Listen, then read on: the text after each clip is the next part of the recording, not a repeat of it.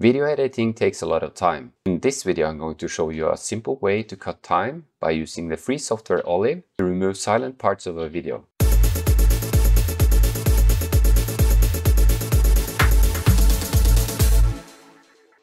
This method could be used on both Windows, Mac and Linux and is recommended before editing in software such as Adobe Premiere, Final Cut Pro or DaVinci Resolve. To start by going to olivevideoeditor.org and get Olive. And as you can see, you have three different versions for Windows, Mac and Linux. And it's this Olive 0.1 that is uh, including this silence removal. For my sake, I'm using Windows and I'm not going to install it, just uh, download a portable folder. And as soon as this has been downloaded, I could extract it. And I've extracted it to the desktop right here. So I go into this folder and down to Olive Editor to start Olive. Okay, and then I drag some footage. I have here one file for my intro for this video. I'm dragging this down into the timeline right here. See? Yes, like this. And then I pull this up a little bit to be able to expand on the soundtrack.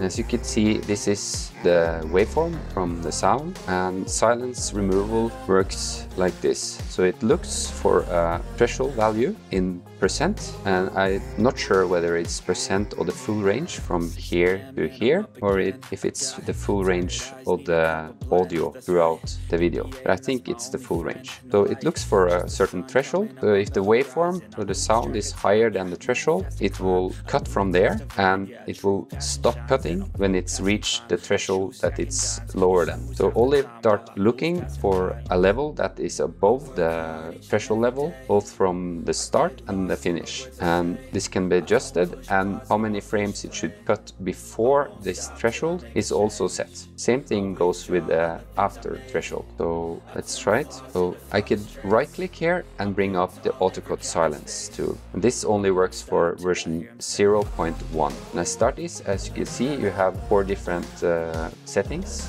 attack threshold, attack time, release threshold, and release time. And the attack threshold and uh, the release threshold is the value that the signal should rise above or sink below. And the attack time, release time is how many frames it should be cut before or after these thresholds. So the starting values are quite good, I, uh, I think. So I've uh, experienced that for my uh, speech, I need a little bit more attack time so put this to 5 and I increase the release time to 10. This you have to experiment a little bit with for your type of speech. So this value, the attack threshold, I need it to be a little bit uh, higher than just 1 or 2. And uh, similarly, the release threshold is nice to put quite low in order for the signal to sink below a certain level. I try this now. Let's see if it's working fine. Yeah, here's to be working fine.